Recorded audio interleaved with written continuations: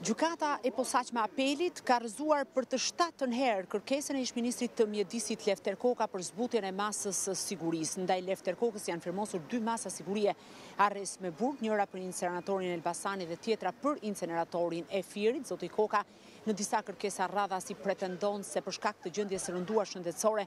nuk mund të qëndrojë në qeli dhe se gjendja e tij e pamundëson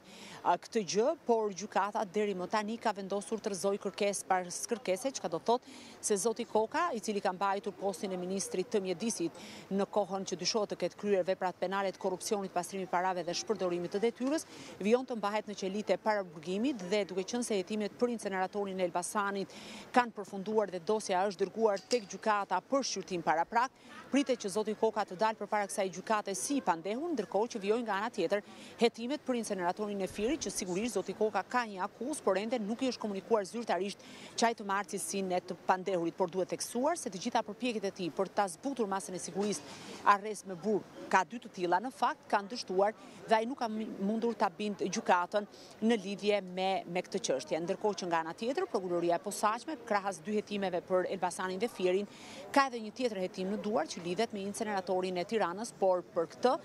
nuk ka ende një person të dyshuar apo që të ketë masë sigurie apo të pandehur. Pra është një çështje që vijon hetimi, por nga ana tjetër nuk ka persona konkretë të jenë shënuar në regjistrin e veprave penale.